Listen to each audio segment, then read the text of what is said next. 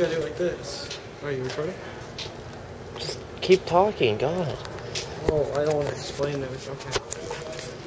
So, yeah, we were uh, supposed to be drinking tonight, but that got all fucked up. So instead, we're we're walking around town, We're looking for crazy things. There's happy people out, you know. It's Saturday night. It's surprisingly dead for a Saturday night at 11:20. What's Choco Kitty say? Chocolate. 24. Okay, yeah, 11:24 p.m. But uh, here we are in the happening spot of Chehalis, Washington, where things Yeah. things always seem to happen when you're not looking. When you are looking for it to happen, it never happens. Isn't that life, right? Smith's Mercantile. That's life. Mercantile. Mercantile. Used Oh, wow.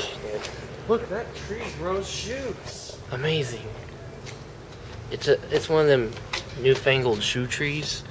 You see on top of it they've got a uh, eagle, and he's just coming down, bringing you the savings and the shoes, and he'll never flap his wings. It's pretty happy.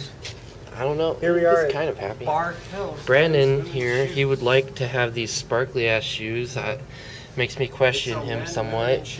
Um, what about the black ones? No. No? How about these purple ones here? No. And men's What about those ones behind the sparkly ones?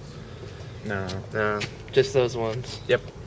Well, it would be perfect. I mean, it is. I mean, It is 2012. They did predict we would be wearing stuff like this in the at by now, and here's proof. We are. I mean, right and, there. uh, they sell men and women here as well as shoes. Yeah, men's, women's shoes. So just tell you this a couple times. So here we are. Still here. All right, Crazy. and we'll get back to you. Yep.